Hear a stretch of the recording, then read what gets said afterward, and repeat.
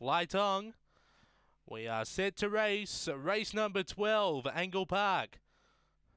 Away. Black Martini was only fairly away. Speakfinger Centre, Emily Sharon, who leads by a length and a half over Orson Katie. Turbo Raider, four lengths away then Darwin O'Connor. Black Martini well back then with Limburg Blaze up to the turn. Railing through Orson Katie over Emily Sharon. Turbo Raider. Orson Katie takes for last. Second was either Turbo Raider or Emily Sharon. Then we go back to Darwin O'Connor. Black Martini, Limburg Blaze. Time around 19 and 40.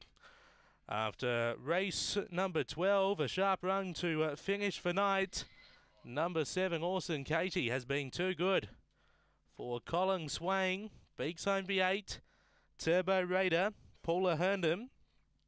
Third, number 5, Emily Sharon, Roland Parry. Fourth, number 2, Darwin O'Connor. Bob Isaacson, 1942, 446, 761, rung home in 1181. 7852 are those numbers after the last race here tonight at Angle Park. 19